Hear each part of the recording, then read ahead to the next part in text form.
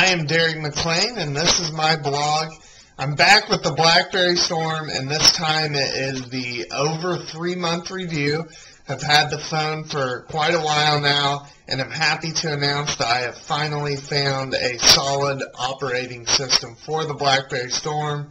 Uh, check it out here, 4.7.0.103. And this has been by far the, the most solid uh, running operating system. I've now been using it for over two weeks.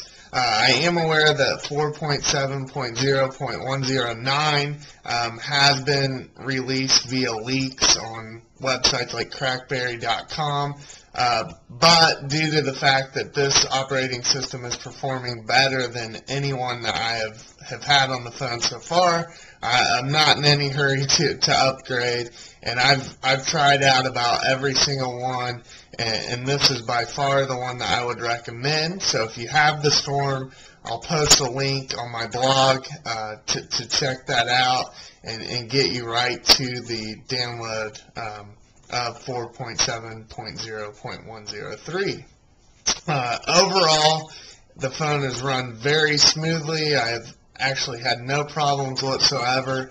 In earlier versions, I experienced everything from not being able to set my alarm without rebooting my phone to my camera freezing up every time to call waiting not working. I mean, every single operating system there was always one huge problem.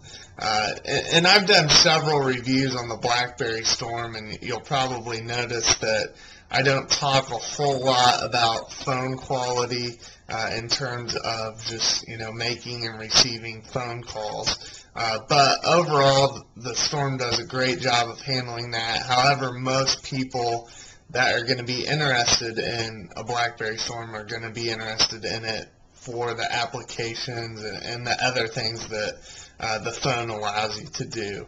Uh, in doing uh, my reviews and, and, research on the BlackBerry Storm, I've run across a few sources that I want to share with you. The first is ilovemystorm.com, and we'll go ahead and take a look here. This is a very simple uh, site.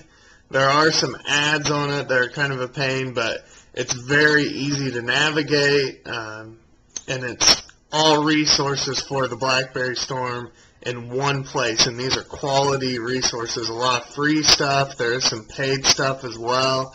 Uh, but as you can see here, it has everything from the latest operating system to uh, themes, applications, uh, ringtones, all kinds of good resources. So again, that is ilovemystorm.com.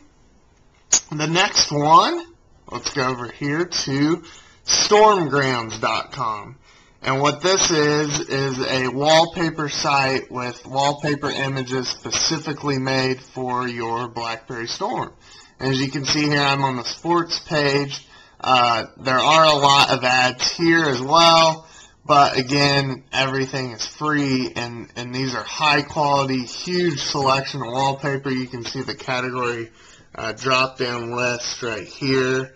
Uh, so check out ilovemystorm.com, stormgrams.com, and finally, this one is not uh, BlackBerry specific, but youmail.com.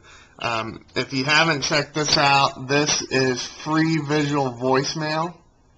So uh, this really allows you to enhance your BlackBerry Storm um, and, and basically allows you to manage your voicemail versus Verizon or whomever uh, your, your cell phone provider is doing it. You can do everything from forwarding uh, your voicemail clips to someone's email address. You can set up personalized greetings, manage everything online or from your cell phone. So those are three great sources. Again, I love my storm.com, stormgrams.com, and youmail.com. So get those on your BlackBerry Storm right now uh, and get operating system 4.7.0.103 uh, it's by far the, the most solid operating system so far for the BlackBerry Storm.